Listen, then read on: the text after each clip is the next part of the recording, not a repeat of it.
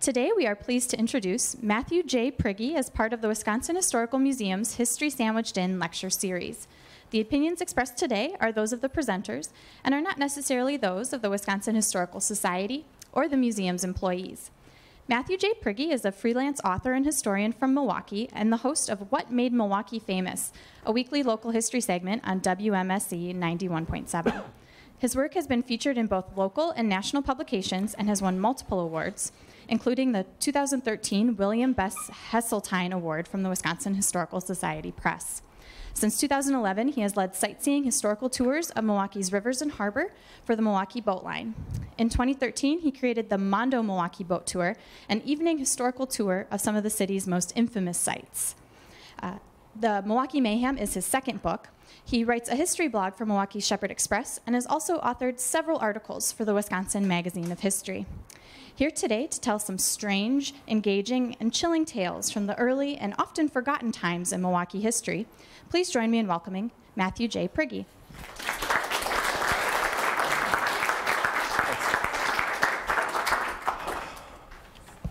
All right, good afternoon, everyone. Is the sound is good? All corners. Oh, okay. Well, my name is Matthew J. Prigge, and I'm here to talk about my book, Milwaukee Mayhem. Uh, just came out couple of months ago. I'm going to tell, uh, get into some of the stories here. Also talk a little bit about the the process. Just talk about the book a little bit. Uh, first off, has anybody gotten it yet? Has anybody read it? Oh, okay. My publisher. Awesome.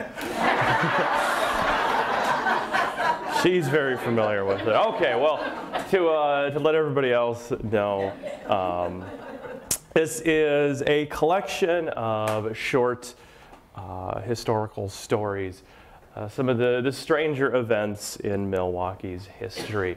Uh, they're organized into the categories of murder, uh, accidents, disaster, and vice.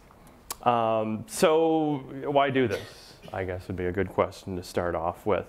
Uh, I've always been you know, very interested in Milwaukee's history. I've done a lot of things, uh, written a lot of pieces on it. And I, over the last several years, I was always coming across these odd items in the newspaper, and I didn't really know what to do with them, so I just was kind of collecting them for a while. And I guess really the, the, the nexus of this book was that uh, the Milwaukee, uh, the Mondo Milwaukee tour uh, that was mentioned a couple moments ago, um, was I do boat tours, sightseeing tours of the city on the, the rivers and the lake. And there are always these things I looked at these sites and I knew all this strange stuff that had happened there, but it really wasn't appropriate to drop into the middle of a uh, sightseeing tour. So I, I, put them all together and I put together this weird tour talking about famous murder sites and, and the red light district and things like that. And, and that kind of uh, birthed this idea here to try to, to put these uh, together. And I open up the book with uh, talking about the Bridge War in Milwaukee. And um, some of you might be familiar with that. That was uh, basically the way Milwaukee is situated. There was an eastern ward and a western ward on each side of the river. Um, Solomon Juneau founded the eastern ward. A guy named Byron Kilbourn founded the western ward. And they had this really odd and intense rivalry early on. And it ended up uh, when they started actually building bridges, they there's this couple month period where each side sort of took turns sabotaging the bridges the other side preferred. And uh, after a couple of weeks, all I think it was the four bridges of our four of the five bridges in Milwaukee had been destroyed, and they, uh, the people on the east side had, had commandeered a cannon and pointed it at Byron Kilbourn's home. And uh, the story is anybody who's familiar with Milwaukee's history knows this story, and it's always sort of told. Um, you know, from the point of view of East versus West. And I, underst- I always understood why the two ward founders wanted to, to go to war with each other because they had a lot of, at stake over this. But the, uh, what got me thinking in terms of, of this, these stories here was just the, the rabble, you know, the people on each side, the people were actually destroying these bridges and, and uh, mounting cannons at each other. Uh, you know, they'd only been there a few years. Um, this wasn't the, uh, you know, the Montagues and the Capulets, if you will. This was all people who'd come to this place and just happened to end up on one side of the river or the other. But it got so you know, fevered that they're ready to just actually spill blood over these loyalties that had just kind of developed. And and I, I, got interested in just that, that rabble because there's you know these histories of Milwaukee. Either they tell the stories of the founding fathers and the business leaders, or uh, more recent ones get into you know labor movements and civil rights movements, and all that's valuable and all that's good. But I got interested in you know the people, um, not necessarily the people who were fighting for an eight-hour workday, but the people who didn't want to go to work. You know, bums, drunks, prostitutes, uh, thieves, murderers. You know, these people all all lived here too. Um, there's a story in the book on a woman named Rosina George, and she ran a dance hall uh, in the 1870s and was constantly being arrested for running this hall without a permit because hers is one of the few places in the city where uh, black and white people would drink and dance together. And she also served, um, she had no restrictions on an age. She'd served children and this there's the noise and just the, the unsightliness of this all. The city kept going after her, but she kept winning these battles. She made um, the news articles on it say she's you know, makes a carpet of the mayor. She walks all over him so regularly, and she became kind of this this folk hero for just doing whatever she wanted to, uh, regardless of what you know, the city officials tried to do to her. And that you know, she was an interesting. Just somebody always stuck with me as and nobody ever mentions her in a history book, and she was, she was as much a Milwaukeean as the mayor or the president of the Common Council or whoever. Um, so that was, it's kind of what I'm, I'm aiming at here. In the, the intro, uh, I use the term orphans of history to describe these people and these stories. Don't really have any, you know, the story of Rosina George, or um, there's another story in here on this is rash of suicides, and I think it was 1874 these aren't necessarily um, important in long-term, you know, long scope histories of the city, but they're interesting on their own, and the people in here uh, were very much Milwaukeeans. So I'm going to start out with, uh, I'm going to read part of one called uh, In a Violinist's Hands. This is from the murder chapter, and it happened in August 1884. Professor William Mobius, well-known classical violinist and music instructor, stumbled out of a Grand Avenue gambling parlor, a loaded British Bulldog revolver in his pocket and death on his mind. It was just past 2 p.m. on a Sunday. As a child, Mobius had been a musical prodigy, sent to the conservatory at Dresden at age 9 and touring Prussia by age 14. He had played in orchestras in France, Spain, and Italy, after immigrating to America, he played in New York City and led his own orchestra in Louisville before returning to tour the grand concert halls of Europe. In 1879, he brought his wife and eight children to Milwaukee. There, he taught music and performed with the city's Bach Orchestra. But he also took to gambling. A string of heavy losses forced him into a state of horrid dejection. Nearing the foot of the Grand Avenue Bridge, he pulled the gun from his pocket and fired a single shot towards the dirt. The professor was not familiar with firearms.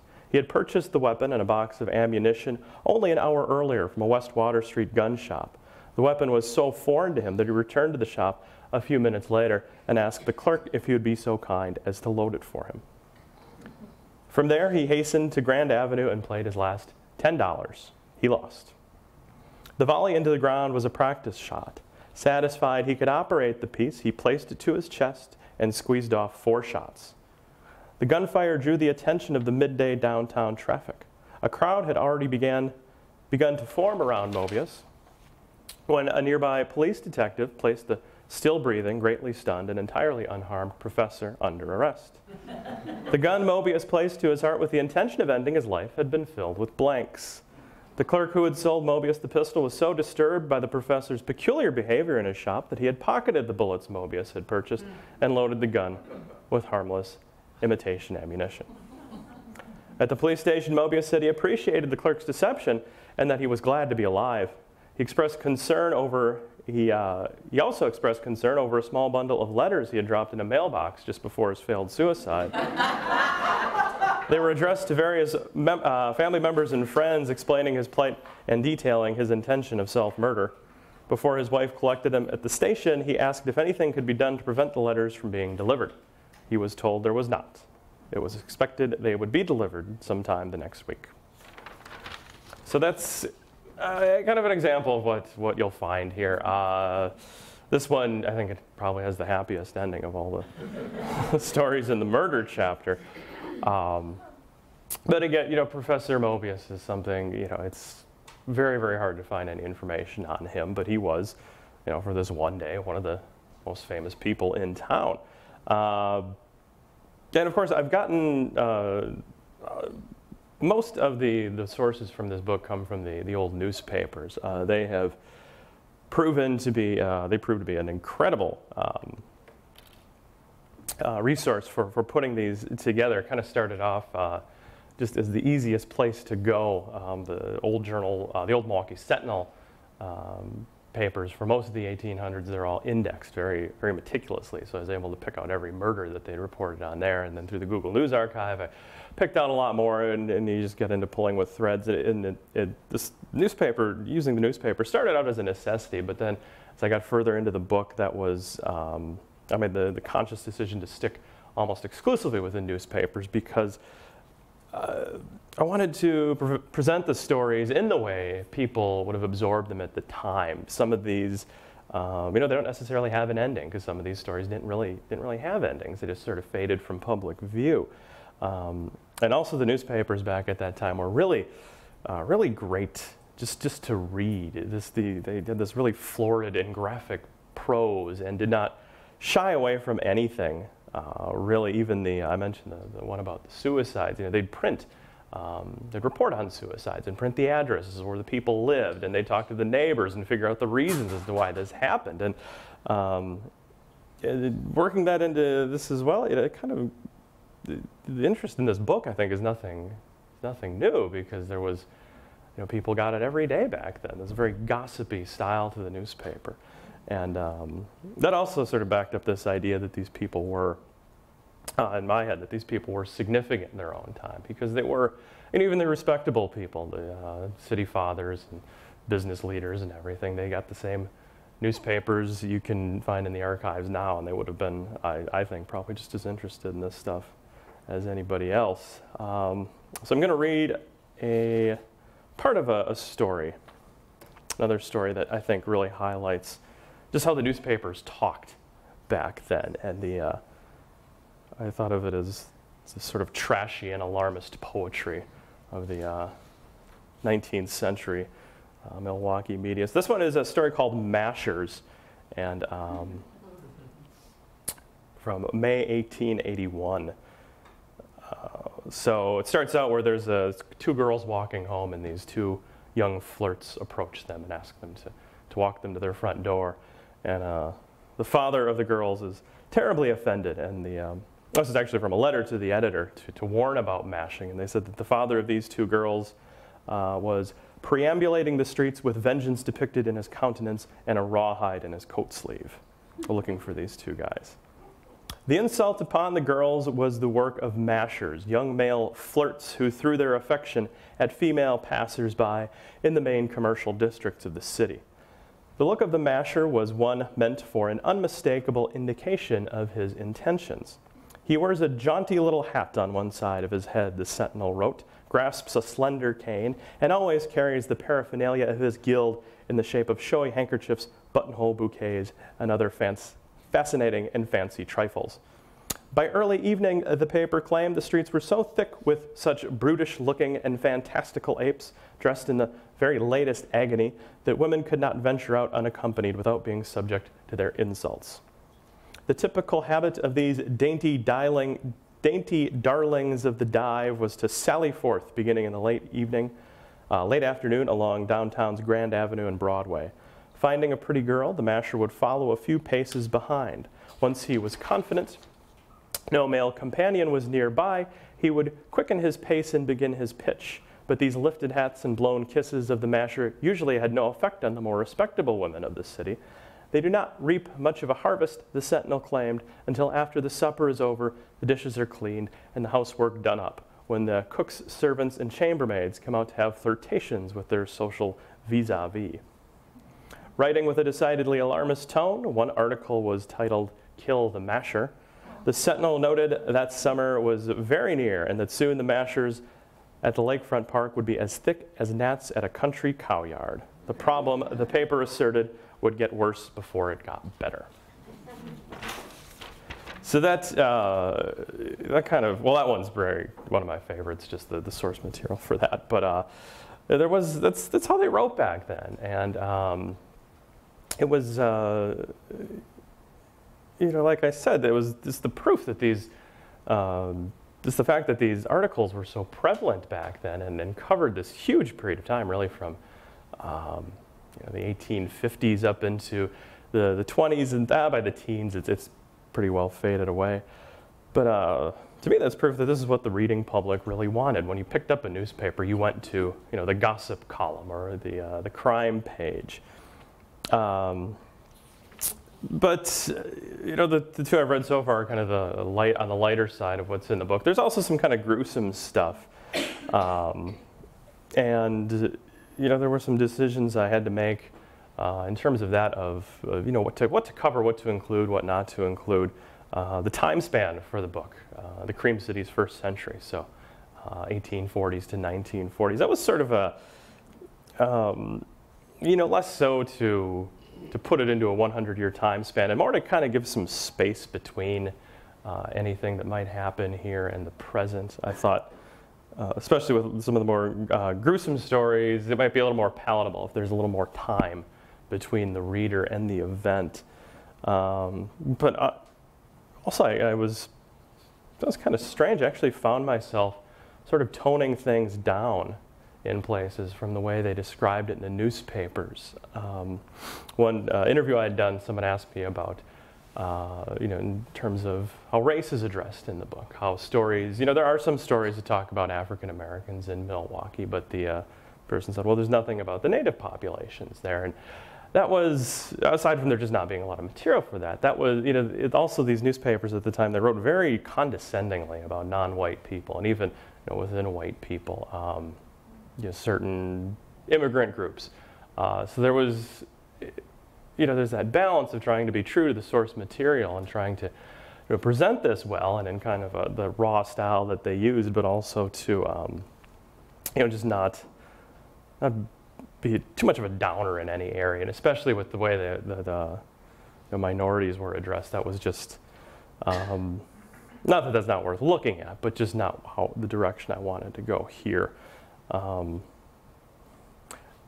and also, the next story I'm going to read is uh, about a woman found in the lake, uh, dead body. And this one gets to, again, kind of that style of journalism, but also it talks, uh, it speaks to another theme that I was going at in the book, was just how the public reacted to these things as they happened. Uh, crime scenes, disaster scenes. Um, you'll see people on the internet talking one way or another about appropriate places to take selfies. You know, whether this historical site is okay or this is not, or funerals or whatever. Um, just reading about people, uh, specifically people in Milwaukee back then, and how they reacted when a when a building burned down or when somebody died and there was you know, a murder in the street or something. I can assure you, if they had had the means, there would have been selfies at these crime scenes from those people. This is not uh, this is not a new phenomenon. And if anything, I think people have gotten uh, better about it. But this one is called The Woman, excuse me, The Woman at the Breakwater from June 1898. I'm not going to read the whole thing, but uh, basically, there's a man who rents a, a, a uh, paddle boat from a lakefront stand. He has a woman with him. They go out into the lake, they come back a few hours, the woman's not with him. Uh, he says he left her at the beach uh, body washes up a few days later. They find out, or they, they determine that it was uh, this unknown man who took the woman out into the lake, murdered her, and tied a horse hitching weight around her waist and tossed her in the lake. But if the police had a general idea as to how the crime was committed, they had no clue as to the identities of those involved.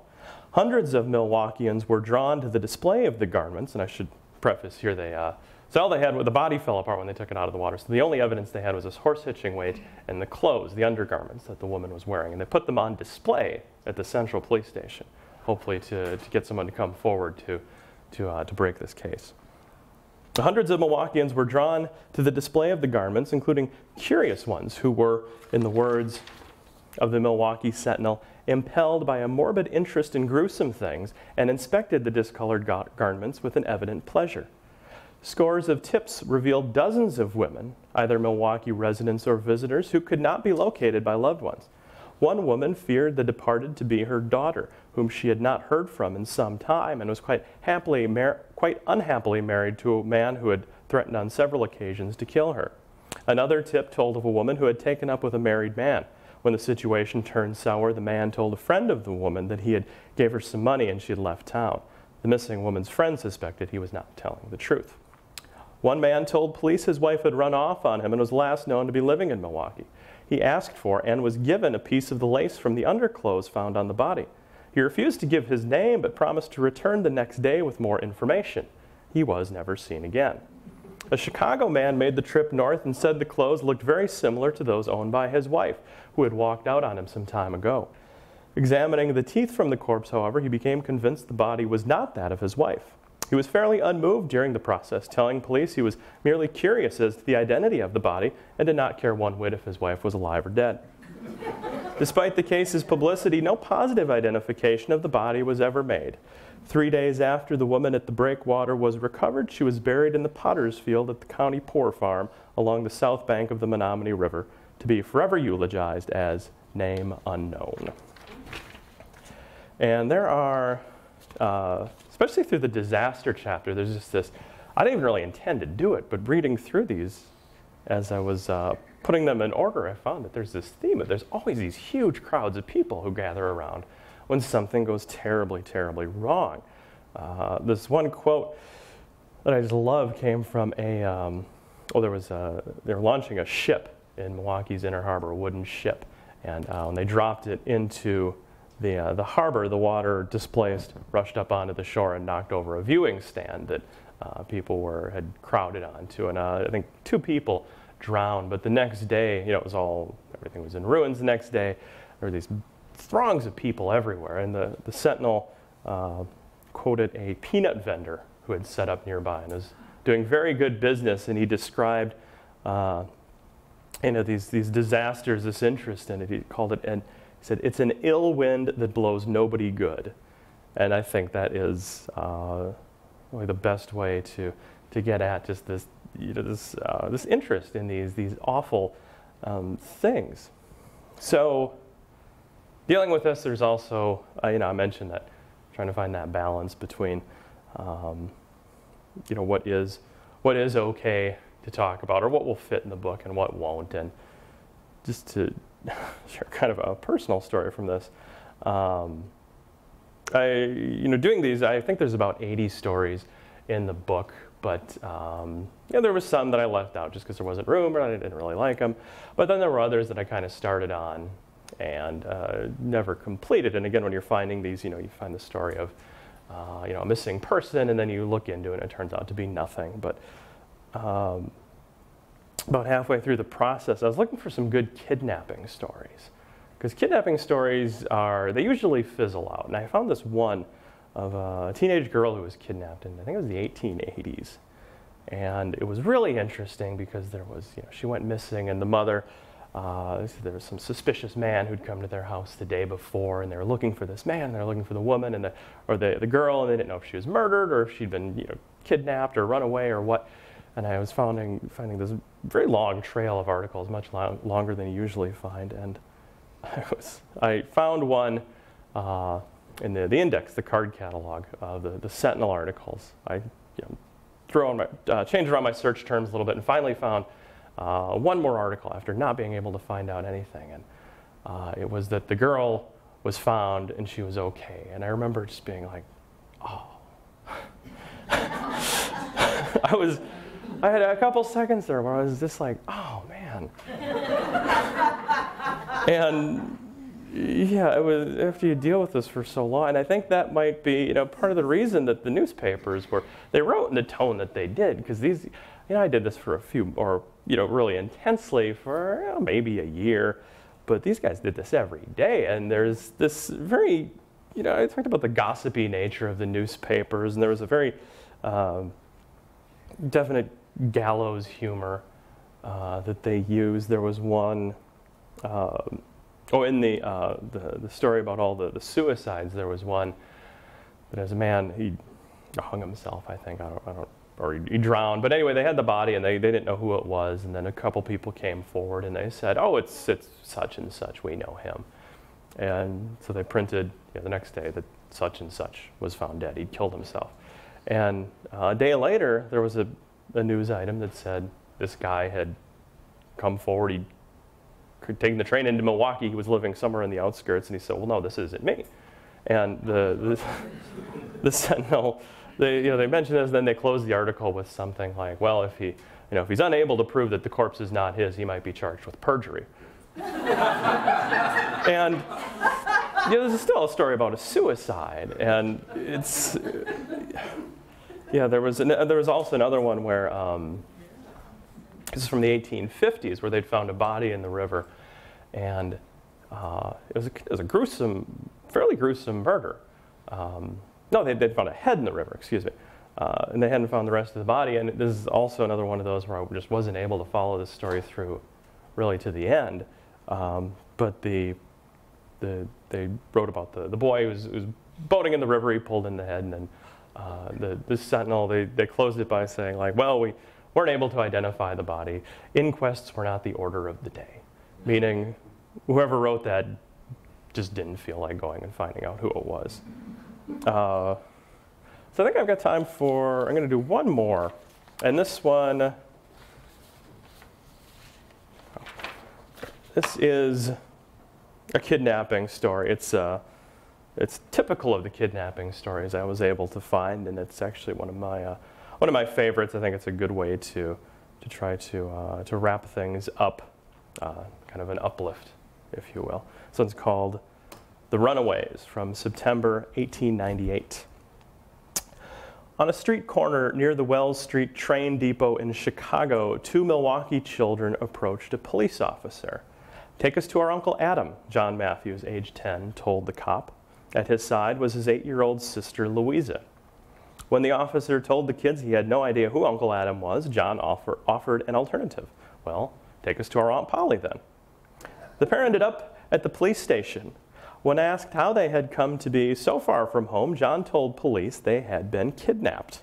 According to the boy, the pair had been approached at, the Milwaukee, at Milwaukee's Chicago Northwestern Railroad Depot, the big house by the lake, as he put it, by a well dressed woman who asked them if they would like to take a train ride. They said they would, and she purchased three tickets, loaded them aboard a southbound train, and sat with them all the way to Chicago. Upon arriving in the city, she told them to wait at the depot, left, and never returned. The police contacted the children's frantic parents who had not seen them since sending them off to Sunday school that morning. Their father, William Matthews, rushed down to Chicago to retrieve the children and sat with them as they recounted their fantastic story to a Milwaukee police detective. The children went on and on about the Chinamen and all sorts of funny people they had seen in Chicago and the cross woman they had encountered at the Chicago police station who was saying horrid things because she did not like the bread she was given to eat. But their description of the kidnapping was evidently lacking, and both the police and the children's parents agreed that the pair had simply run away. Evidently, John had been punished by his mother for lying the day before and had determined to skip town. Police sent the kids home with their parents, who punished both for their flight to the south. But once again, little John Matthews felt that his penalty was undue. The very next day, he and Louisa again walked to the lakefront depot, boarded a train, and despite declarations that they did not like the city, disembarked in Chicago. There they once again claimed to have been kidnapped and were held at the police station to await their father. Mr. Matthews had no idea how the children had managed to make the trip twice without paying and without drawing the suspicion of any adults aboard. He told the newspapers that his son was likely next bound for an industrial school.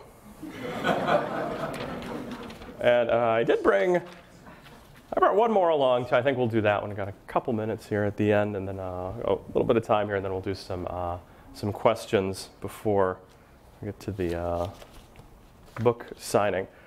Uh, this one is from the Vice chapter. I didn't. I don't think I read anything from the couple of. Uh, well, the Mashers would have come from the Vice chapter too, but this one's also from um, uh, the Vice chapter, and there was a lot of uh, you know, charting the, the vice chapter, there's these alarms at, at you know, these panics It kind of happened like clockwork. Basically, um, you know, what's wrong with kids these days? It goes back, uh, probably goes back as far as there have been children, but uh, this one is from January 1922, and it's called With Bells On. The most recent fashion accessory of the Milwaukee flapper was causing concern among school officials in the city. Flappers, a teenaged army of pretty girls with bobbed hair, short dresses, and rouged faces, per the Milwaukee Journal, were known for their slinky sex appeal and alluring perfumes. But this new trend was drawing attention for more than just the eyes and nose. The most chic of the flapper set was now adorning her outfits with small jingling bells whose tinkle accommodates her promenade. By the time these jingling flappers were set loose on summer vacation, the journal was already declaring that 1922 would go down as the year of the great flapper controversy. At 14, they look like grown women did before the war. At 17, they can pass for 24, the paper wrote. If you're a high school boy, you say they have snap and make keen dates, and you are proud to walk down the street with one hanging on your arm. Of course, it was not high school boys who were worrying so loudly about these girls and their snap. The mobility and independence of the flapper seemed to some a fast road bound to ruin. Milwaukee flappers found idols at the movies and dressed to mimic their favorite female stars.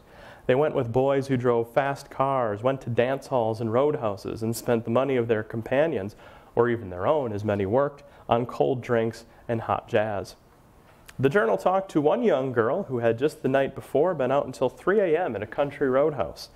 The reporter asked if there was any adult supervision to her night out. What did we want of a chaperone? The flapper spat. We knew the boys, and anyway, a girl can take care of herself. The reporter found another girl who was also familiar with the back roads. Do I let the do the boy do boys take liberty with, liberties with me? Not so you can notice, she told the man. If I like a boy pretty well, I let him kiss me, and if I let him kiss me if he wants to, and of course he always wants to. If I don't, if I don't like him, nothing doing. Seeing that the journal man was taken aback by her attitude towards what had once been a fairly verboten subject, she continued, Why not? If you like boys, why not let them know it? Why not have a good time as you go along? There'll be trouble enough later on. Any movie will show you that. Despite the somewhat shocking behavior the journal man uncovered, he was less alarmed by the flapper than others. So why not let the flappers flap if they want to? He asked his readers. Their momentary eccentricities probably are far more harmless than we choose to believe. As far as the flappers' jingling dresses, school officials said they would probably move to ban bells from acceptable student clothing. Their accompaniment, it said, had a tendency to distract the boys from more serious matters. So if anybody has any questions now, happy to open things up. Oh, thank you.